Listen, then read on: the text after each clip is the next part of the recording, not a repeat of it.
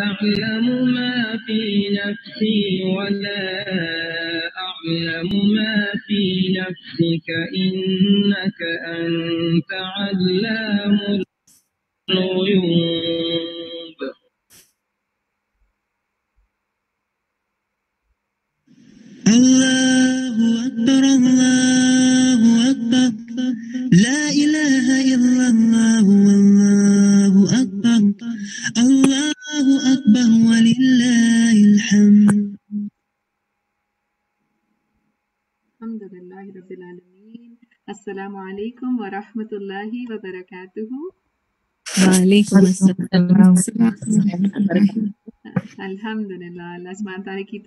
और लाजमान की इतनी खूबसूरत सूरह और हम इसको पढ़ सके और समझ सके राइट कैसा महसूस कर रहे हैं सब?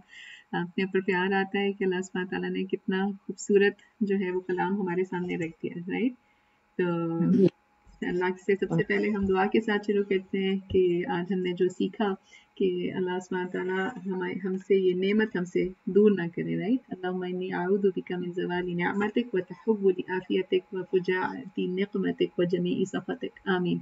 और इस वक्त भी कुरान की महफिल में बैठे हुए जब हम कोई चीज़ सीखते हैं, समझते हैं तो अपने लिए बहुत दुआएँ मांगे, दिल खोल के दुआएँ मांगे, जो कुछ हम पढ़ रहे हैं, सीख रहे हैं जहाँ इसबाब ख़त्म हो जाते हैं जहाँ इंसान की सोच ख़त्म हो जाती है वहाँ से हम दुआ से मदद लें राइट तो आज हम जब सूर्य मायदा को मुकम्मल कर रहे हैं और इंशाल्लाह सूर्य अनाम की तरफ़ जा रहे हैं तो क्या कोई अमल के लिए क्या सीखा हमने अपने लिए या क्या सोचते हैं कि इस सूर्य ने हमें क्या दिया?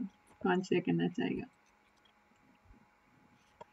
इस सूरत में हमने इतने इतने ज़्यादा अहकाम सीखे हैं कि कोई कि सूरह बकरा में भी हमने बहुत कुछ सीखा था बहुत सारे अहकाम आए थे लेकिन इसमें मजीद उन अहकाम को एम्फोसाइज करके बयान किया गया मोर डिटेल के साथ।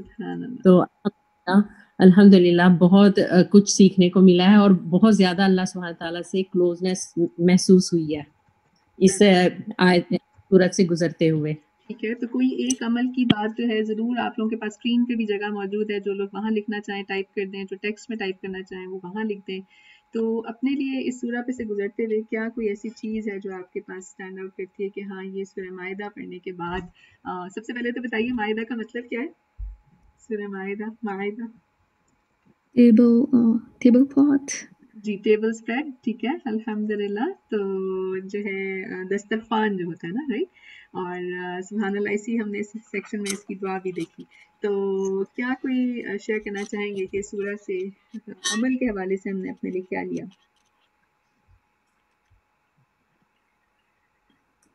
जी सलामकुम जोरिया जी ये आज मैंने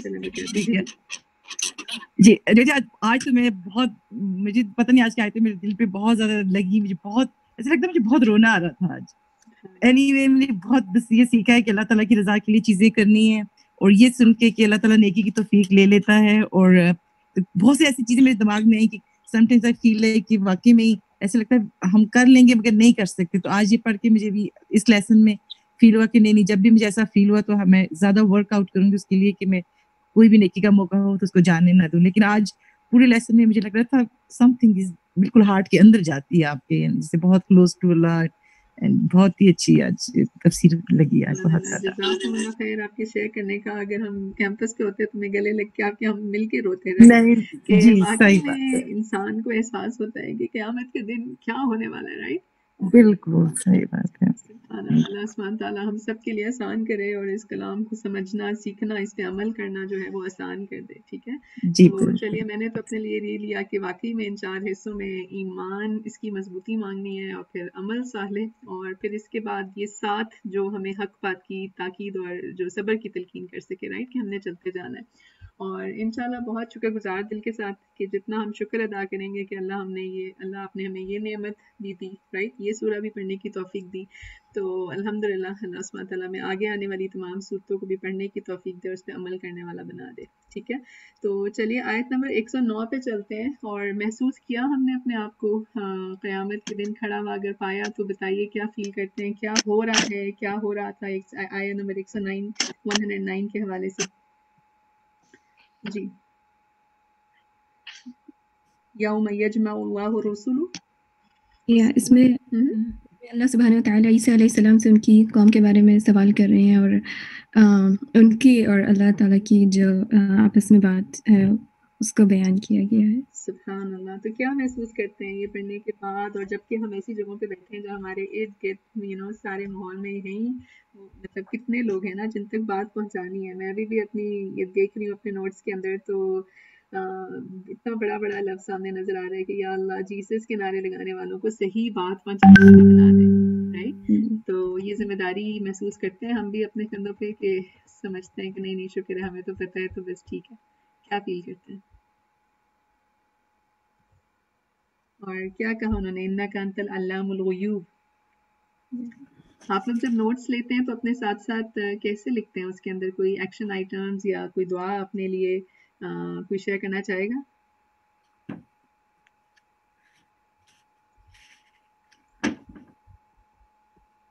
नॉर्मली मैं तो I keep some highlighters handy तो जो अपनी अमल की बात होती है I do it like pink और पर्पल विद दैट जो मेरी आयास का मफहूम uh, चल रहा होता है आई डू इट ग्रीन ठीक है। और uh, उसके अलावा उसके अंदर कोई और अच्छी बात होती है तो आई डू इट ऑरेंज तो that way when I open my notes तो अल्हम्दुलिल्लाह I mean I can I can pick the points अल्हम्दुलिल्लाह रब्बिल आलमीन तो यही और जवेया जी मैं जो हूँ मैं भी हाईलाइट करती हूँ एंड देन आई यूज़ जो मैं कोटेशन या अपने लिए अमल के बाद लिखती हूँ उसको मैं पेरेंथेसिस में लिख लेती हूँ।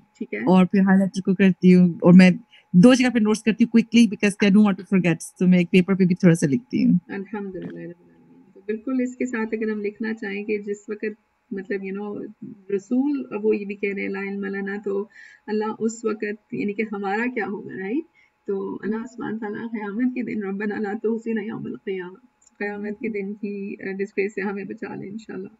तो इसके बाद की आयात के अंदर हमारा ईसा अलैहिस्सलाम के हवाले से खासी हद तक आई होप कि कॉन्सेप्ट क्लियर हुआ हो कि कुरान के अंदर ईसा अलैहिस्सलाम के हवाले से क्या कहा जा रहा है राइट तो बताएँगे कुछ क्या क्या सीखा हमने इन आयात के अंदर क्या क्या उनको दी गई थी नेमतें?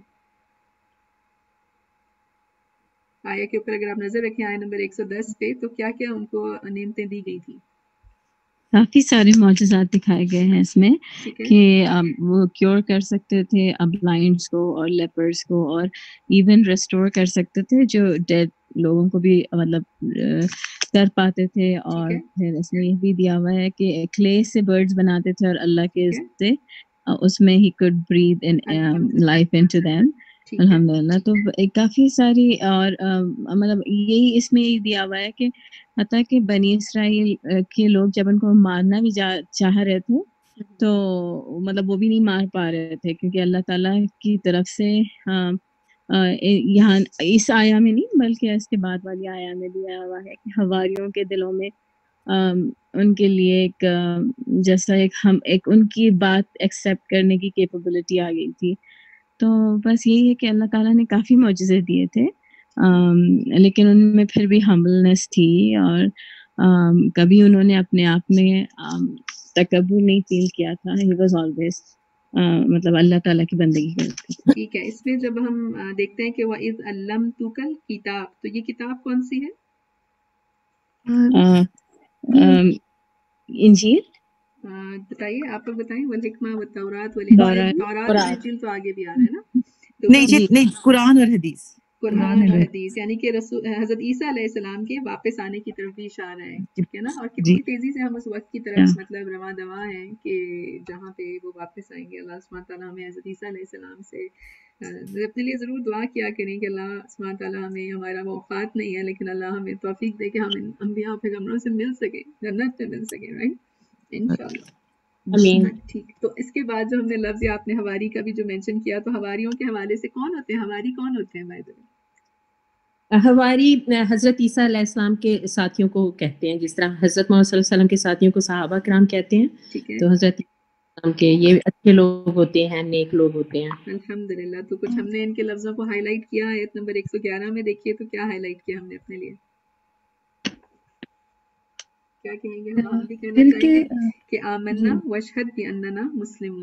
मुस्लिम हम्म, कि अल्लाह हम भी ईमान लाए और तू गवाह रहे कि हम भी फर्मा बरदार हैं ठीक है? तो क्या दुआ इन्होंने मांगी थी ईसा सलाम से? आयत नंबर 114 के हवाले से बताइए। क्या मांगा था? और इसी में सूरा का नाम भी है मौजूद? बिल्कुल ठीक है। ठीक है तो हम हम भी अ, क्या मतलब इससे हमारे लिए अमल का क्या नुकसान निकलता है? इस दुआ से हमारे लिए क्या अमल का नुकसान है? ये था हर चीज़ अल्लाह ताला से मांगनी है। सिर्फ़ अल्लाह से ही मतलब दुआ के हर चीज़ मांगनी है। कोई और ज़रिए से नहीं है। यानी दूसरा ये था कि सॉरी ईमान वाले जो है वो मुतालबा नहीं करते। यानी कि हमने मान लाने वाले मुतालबा करके नहीं मांगते। है ठीक है बिल्कुल ठीक है मुतालबे नहीं करने बल्कि हमने काम करना है। और ये वाहिद मुकाम है जहाँ अल्लाह और रब्बना इकट्ठे आए हैं ना सुबहान अल्लाह तो इसके बाद आप आयत इतनी खूबसूरत यहाँ पे आयाज हैं और आप आयत नंबर 116 के अंदर देखिए कि क्या इसमें से अमल का नुक्ता हमने अपने लिए लिया है। आयत नंबर 116 के हवाले से बताइए।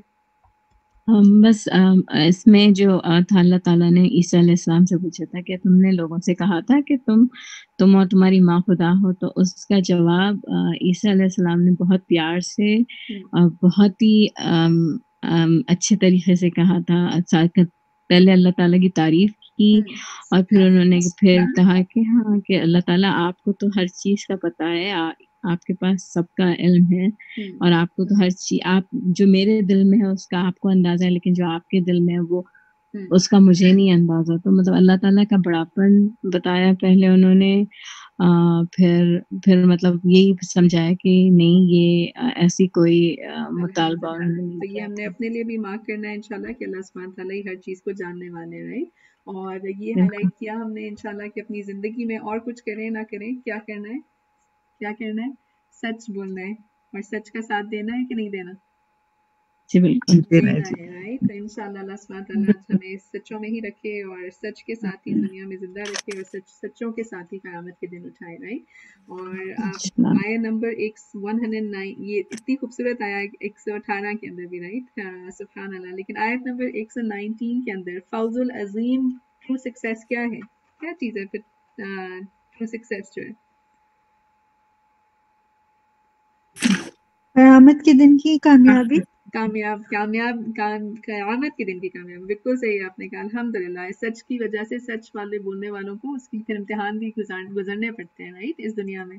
लेकिन अब अब्दी कामयाबी फिर उन्हीं के लिए अल्लाह ताला हम उसी उसी में से रखें और अल्लाह ही के लिए मिल्कियत, आसमान और ज़मीन की और जो कुछ भी इसके अंदर है और अल्लाह हर चीज़ पे कादिर है, ठीक? तो इंशाल्लाह इस सूरह के अख्ताम के बाद अल्लाह सुब्हान ताला अगली सूरह का आगाज़ हमें तोफ़ी दें, जो कि अल्हम्दुलिल्लाह के साथ शुरू होगी, ठीक? जिसने बनाया ज़मीन और आसमान को। और फिर उसी ने जो है वो बनाए अंधेरे और अल्लाह हमें उन अंधेरों में से रोशनियों की तरफ़ ही गामजन रखे राइट तो जजाकुमुल्लाह खैर कसीरा, इंशाल्लाह यहाँ पे अपना रिकैप जो है वो रोकते हैं और इंशाल्लाह तजवीद की आपकी प्रिपरेशन इंशाल्लाह तो करते हैं, सुबहान रब्बिका रब्बिल इज़्ज़ति अम्मा यसिफून व सलामुन अलल मुरसलीन वल्हम्दुलिल्लाहि रब्बिल आलमीन वल अस्र इन्नल इंसाना लफी खुस्र इल्लल लज़ीना आमनू अमिलुस सालिहाति व तवासौ बिल हक़्क़ि